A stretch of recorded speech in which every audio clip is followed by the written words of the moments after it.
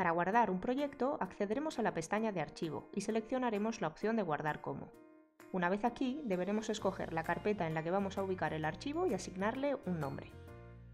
Adicionalmente, si desplegamos esta pestaña, veremos todos aquellos formatos en los que podremos guardar el proyecto. Si lo que queremos es exportar el diseño en formato de imagen fija, usaremos la opción de exportar imagen PNG. Esto abre un panel a la derecha donde podremos especificar si queremos exportar el diseño comprendido dentro de la página o documento, el dibujo, es decir, todo el diseño independientemente de si está o no comprendido dentro de la página, una selección o exportar una parte del diseño personalizada indicando sus proporciones. Una vez decidido cuál será la forma de exportación, clicaremos en Exportar como y nuevamente deberemos asignar una ubicación y un nombre a la imagen resultante.